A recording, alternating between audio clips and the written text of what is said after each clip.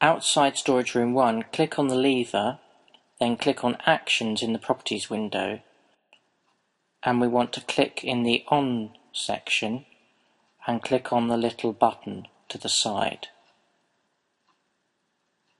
We want to use an Object Clicked trigger and we need to select the object we want to be clicked in order to activate the lever. So click on the lever This rule now states if the lever is clicked, then the lever will change its state to on, so the lever will come down. Before we created this action, nothing would happen. Give it a name, I'm just going to call it lever on, and then press the tick button to accept the rule. Now click on the door if it won't let you click on the door, you'll have to zoom in on the map and click on the door in the map. Click on Actions again. And we want to click in the Open section, so set what will open the door.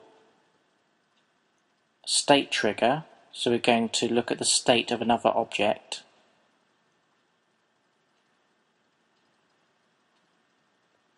Click on the lever,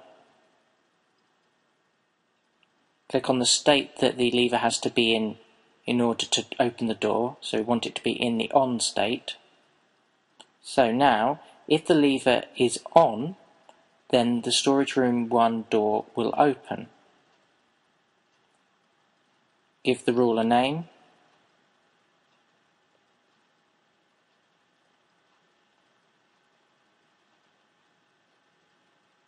And accept the rule. You can then test it by pressing play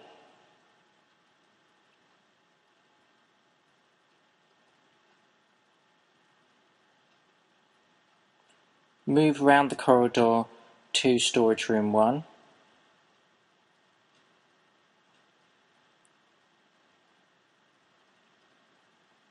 click on the lever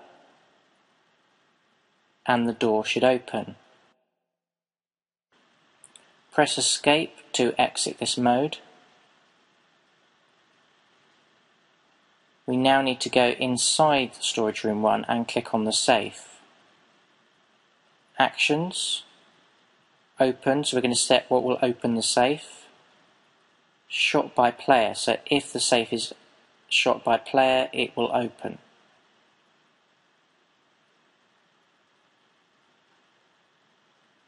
Select the thing that has to be shot by the player, that is the safe. So if the safe is shot by player, then the safe will open. Give the rule a name.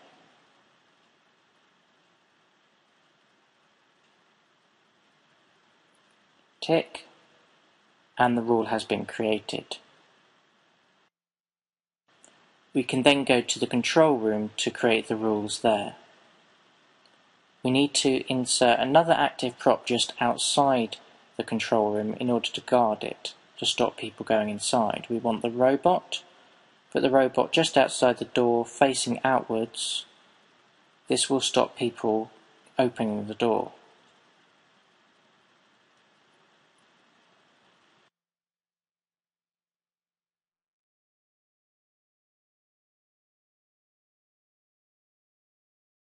With the robot selected, click on Actions, and then if we click on Set in Active, this means make it disappear. Again, we're going to use the shot by player, so if someone shoots the robot, click on the robot. So the rule will say if robot is shot by player, the robot is deactivated or disappear. Give the rule a name and accept it. We can then click on the door and set the rule that will open the door. Click on Actions, Open, again State Trigger, we're going to look at the state of the robot. If the robot is inactive, then the door will open. So if the robot has been shot and has disappeared, then the door will automatically open. We can then give the rule a name and accept it. Go inside the control room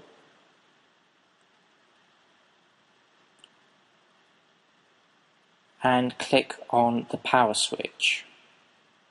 We're going to repeat the same process we used for the lever. So in actions, if we go to on, and then object clicked, so if the user clicks on the lever, it will change its state to on, so the lever will move down and it will be on. Give it a name and accept it.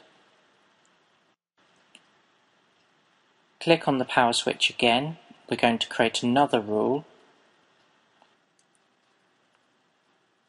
Set it in active by changing this to false. This means it won't appear by default. It will only appear once the user has collected the CD. So set in active. State trigger. We then need to go to the My Game menu and look at pickups and click on the disk if the disk is owned by the player. So if the player has found the disk and got it out of the safe, then this switch will appear, otherwise it won't. Give the rule a name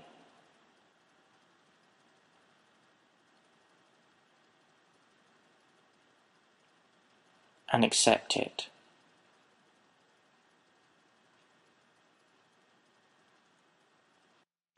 We are going to create one more rule that will make the game end once the user clicks on the switch. Let's go to the My Game menu